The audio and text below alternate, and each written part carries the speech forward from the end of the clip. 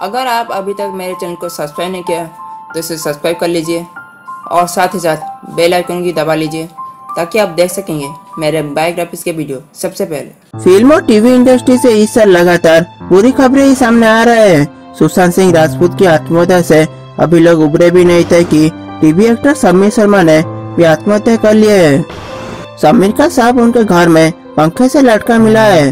कई TV serials में काम कर चुके समीर की आत्महत्या के पीछे की वजह सामने नहीं आया है। समीर शर्मा एक अभिनेता और मॉडल है, जिनका जन्म और पालन पोषण दिल्ली में हुआ था। उनका जन्म तीन मई दिल्ली में हुआ था।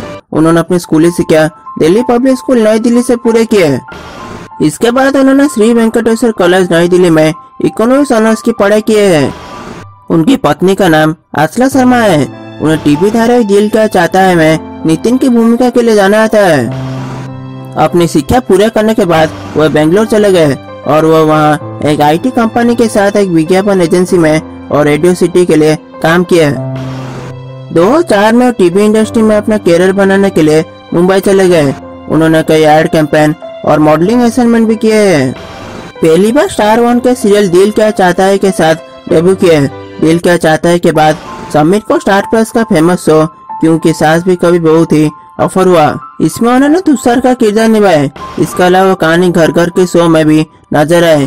साउथ टीवी के famous show Left Right Left का भी हिस्सा बने। इसके बाद समीर लगातार टीवी में सक्रिय रहे हैं। हाल ही में वो ये रिश्ता है प्यार के में नज़र आ रहे थे।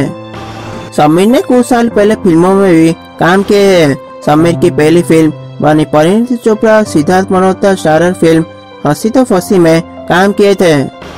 इसके बाद समीर साल 2017 में आई फ़िल्म इत्तेफाक का भी हिस्सा बने। उन्होंने यूट्यूब चैनल अरे की web series I so my virtual girlfriend के ज़रिए डिजिटल डेब्यू किए। इसमें उन्होंने एएसपी आदिल शेख का किरदार निभाया मेरे वीडियो को लाइक एंड शेयर ज़रूर करिए। और आप अगर ऐसे बायोग्राफी देखना चाहते हो तो मेरे चैनल को सब्सक्राइब करिए। और बेल आइकन को दबाने मत भूलिए, क्योंकि मैं हर हफ़्ते आपके लिए ऐसे वीडियो लाऊँगा।